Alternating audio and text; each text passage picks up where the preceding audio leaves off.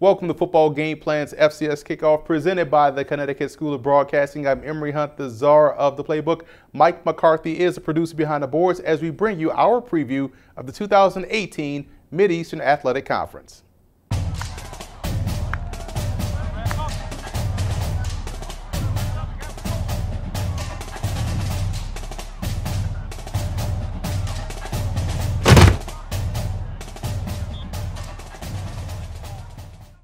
We'll kick off this MEAC preview by taking a look at some of the top storylines heading into the 2018 season as we go into our four-minute offense. The North Carolina A&T Aggies went a perfect 12-0 last season, and a good chunk of that roster returns to Greensboro this year. What's different this time around is that legendary head coach Rod Broadway has retired, and they've now lost stellar offensive coordinator Chip Hester, who has become the head coach at Barton College's upstart football program. So the question remains for new head coach Sam Washington was there too much turnover to repeat as champions, or will he be able to circle the wagons with the returning talent and keep the Aggies hungry for another MEAC and Black College national title?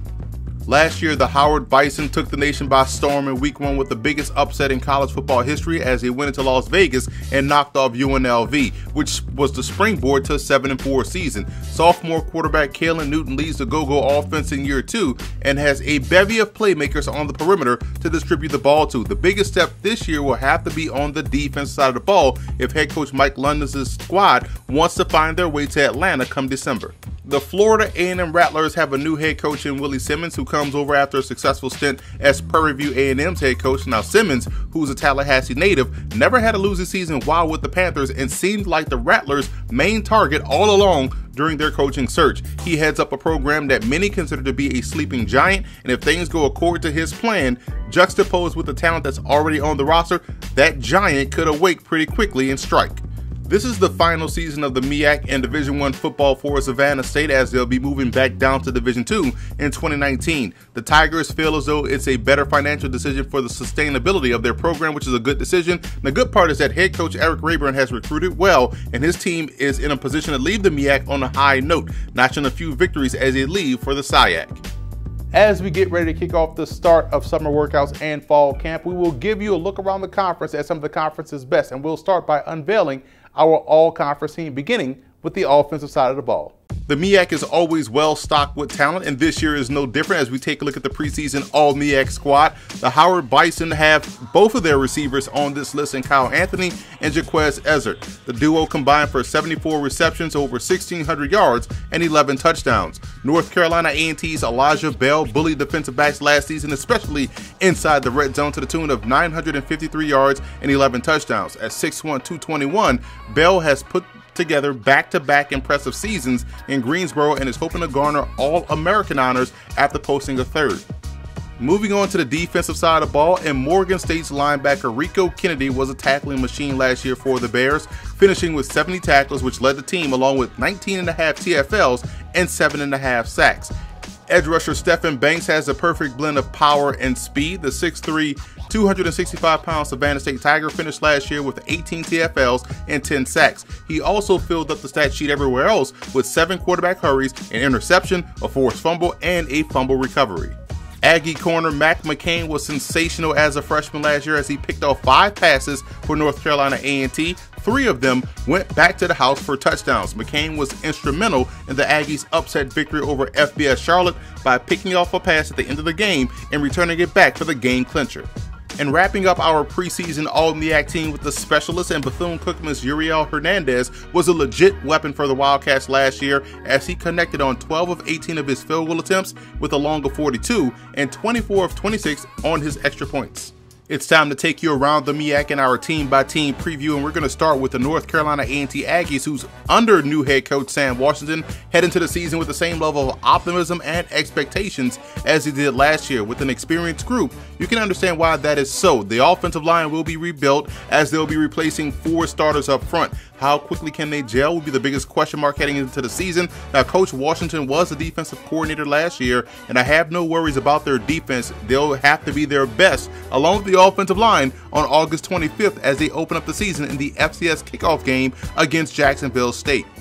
The Bethune-Cookman Wildcats are always one of the tougher teams pound for pound in the MEAC, and this year, especially with an influx of JUCO talent, they're going to be a major player within the conference. How quickly can the quarterback play become efficient enough to keep this offense on pace? That'll be the biggest thing you want to keep an eye on. What the Wildcats will have over many teams in the MEAC is a solid kicking game. Defensively, I think they'll be at least top three in the league, and that'll keep them in a lot of ball games. Their passing game on offense will more than likely be the difference in improving on last year's 7 and 4 record. The team no one is talking about out of the MEAC will be the Norfolk State Spartans. Head coach Latrell Scott has a talented and experienced group returning along with good stability at the quarterback position. On the defensive side of the ball, if you don't know who Nigel Chavis is right now, you will know who he is by mid-season. I think he's ready to push for the Buck Buchanan Award, which is given to the top defensive player in the FCS. A key factor for the Spartans and whether or not they can win the conference will come down to how they manage the first month of the season. They have two tough tests against Liberty and James Madison, and they face, quite honestly, a Virginia State team that beat them last season 14 to 10. So I think how they handle September could set the tone for how they fare the rest of the way. Defense, defense, defense is the name of the game for the Bison down in the nation's capital. We know the go-go offense can and will go-go this season, just like it did last year with freshman All-American quarterback Caylin Newton. So we know the offense will just be will be just fine. But can Howard get significantly better on the defensive side of the ball is going to be the question. That was the focus of the spring for head coach Mike London, and with the way they recruited up front defensively, I'm sure we'll see a lot of those incoming recruits see the field very early. The question is, will it be enough of an impact for them to sit atop the MEAC? We shall see. The Willie Simmons era begins in Tallahassee as the Rattlers look to be flying under the radar entering the 2018 season. Quarterback Ryan Stanley is a grizzled junior and will be breaking in some new receiving targets, so expect that to be an area that'll take some time to get rolling starting the season. However, the Rattlers are talented at many other spots, especially in the secondary. Terry Jefferson is one of the more talented defensive backs in the FCS. Now, there's a bit of intrigue and mystery in the unknown, so that'll give FAMU a leg up early in the season. But what will give them the leg up later in the season will be if they can close out games defensively. That is what is yet to be seen from that side of the ball.